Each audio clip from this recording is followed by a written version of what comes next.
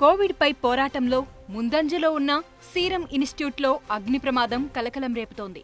పూణేలోని vaccine తయారీ కేంద్రంలో ఒక్కసారిగా మంటలు చెలరేగాయి. రెండో అంతస్తులో ప్రమాదం జరిగినట్లుగా అధికారులు గుర్తించారు. సీరం ఇన్స్టిట్యూట్కు చేరుకున్న ఫైర్ సిబ్బంది మంటలను ఆర్పడానికి ప్రయత్నిస్తున్నారు. అగ్ని ప్రమాదంలో ఇప్పటి వరకు ముగ్గురు కార్మికులను రెస్క్యూ చేశారు. మంటల్ని అదుపు చేసేందుకు కనీసం గంట సమయం పడుతుందని అధికారులు చెబుతున్నారు. అయితే కోవిషీల్డ్ తయారు చేసే ప్రాంతానికి ఎటువంటి నష్టం జరగలేదని కంపెనీ వర్గాలు వెల్లడిస్తున్నాయి. ప్రపంచంలోనే అతిపెద్ద వ్యాక్సిన్ ఉత్పత్తిదారుడుగా సీరం సంస్థకు ప్రత్యేక గుర్తింపు ఉంది. పూణేలో సుమారు వంద ఎకరాల్లో ఆ సంస్థ విస్తరించి ఉంది.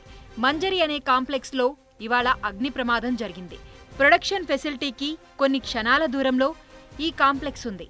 స్పెషల్ ఎకనామిక్ జోన్లో ఆ బిల్డింగ్ ఉన్నట్లు గుర్తించారు. అగ్ని ప్రమాదం జరిగిన సమయంలో ఆ బిల్డింగ్లో నలుగురు ఉన్నట్లు అనుమానిస్తున్నారు. కరోనా మహమ్మారిపై పోరులో భాగంగా ఆక్స్ఫర్డ్ ఆస్ట్రాజెనేకా భాగస్వామ్యంతో సీరం సంస్థ కోవిషీల్డ్ టీకాలను ఉత్పత్తి చేస్తోంది. ఈ సంస్థ ప్రధాన కార్యాలయం పూణేలో వంద ఎకరాల్లో విస్తరించి ఉంది.